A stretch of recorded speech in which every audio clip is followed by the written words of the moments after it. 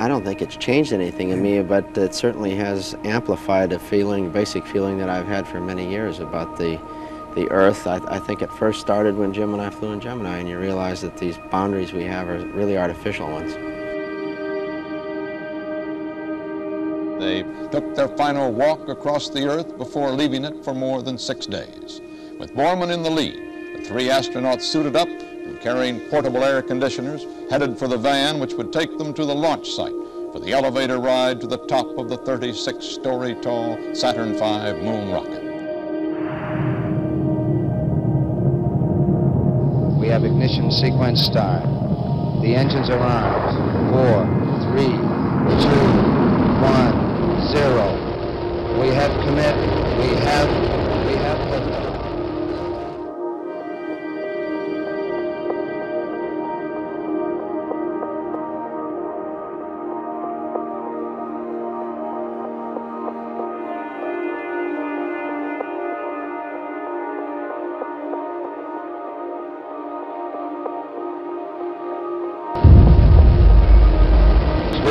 The tower. Oh, there's the rumble in our building. It looks good. It looks like a good flight. But what a beautiful flight. Man, perhaps on the way to the moon. If all continues to go well. Well, I joined NASA in the early 60s uh, specifically to participate uh, in the race against the Soviets, the Russians.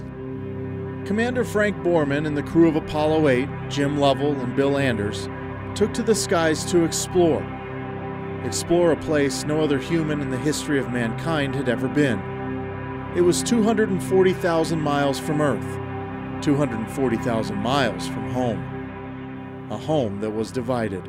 Well, you to remember, 68 was not a very uh, good year either. The, the war in Vietnam and the, the assassinations and the trouble at the Democratic Convention, uh, it was a very fractious year. I, I believe we may have even been more divided, or at least as divided as we are as a country now. We have about uh, less than 40 hours left to go to the moon. With thousands of young soldiers dying in Vietnam, political unrest, and the assassinations of Robert Kennedy and Dr. Martin Luther King Jr., America needed something to believe in. They found that something in the crew of Apollo 8. The further they traveled from Earth, the more we as a country immersed ourselves in their journey. The thrill of exploration into the unknown gave those back on Earth something to embrace and cheer for.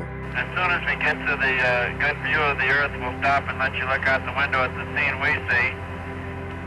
They had just four months to prepare for the most daring and dangerous mission in NASA's history, and at the same time, the crowning achievement for not only the space program, but for the entire human race.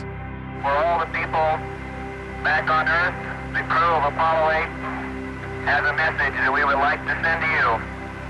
I was told by the head of NASA's public relations that on Christmas Eve we'd have a telecast that was going to reach more human beings that had ever listened to a human voice before.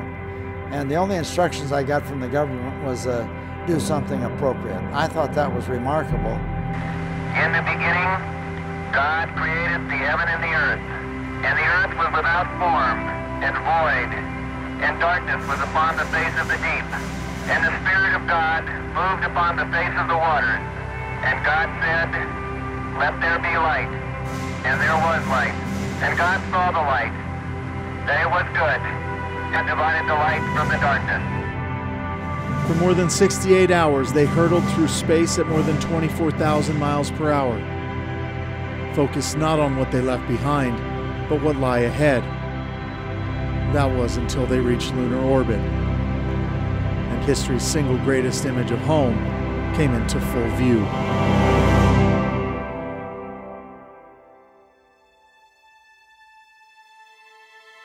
It doesn't take much to, uh, to see the uh, Earth out there all by itself, the only color that we can see in the entire universe, and realize uh, what we left behind. Bill Anders took that picture that became a stamp, and I think that was, for me, the overriding view, view of, the, of the flight. But uh, over this uh, really tortured landscape or moonscape was this beautiful blue planet, the Earth. It was 240,000 miles away, and uh, you could see how lonely it really is and how isolated it is and how beautiful it is.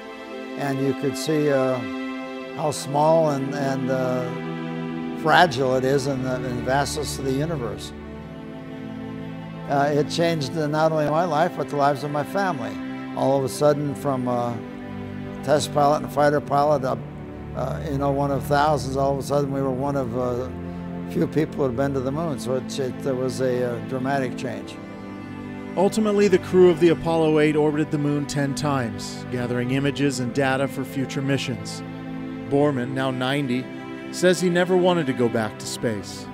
For him, everything that mattered most in his life was right here on Earth. The most important thing that's affected my life has been my marriage to, to my wife, Susan. She was my anchor, my rock. I was very fortunate. I, I got the, the best of the best. Susan has had uh, Alzheimer's and has been in a nursing home for a long time, and I'm one of her caregivers. But I don't look upon that as a duty or a sacrifice. I look upon it as a pleasure. I enjoy being around her. As I said, look, I'm 90 years old. I don't have much longer here, but uh, I have a great faith that, uh, that Susan and I will be together again in, in happiness. At a time when the world needed something to believe in, something to hope for, Apollo 8 delivered an image, an image of ourselves, one that reminds us of everything we hold dear, one that tells us that maybe the most important thing in this life is our fellow man. Frank Borman, Jim Lovell, Bill Anders. Never forget those names, and never forget what they accomplished one Christmas Eve 50 years ago. They were heroes then, and they're heroes today. And from the crew of Apollo 8, we close with good night, good luck, a Merry Christmas, and God bless all of you, all of you on the good earth. Brandon Sullivan, MTN News.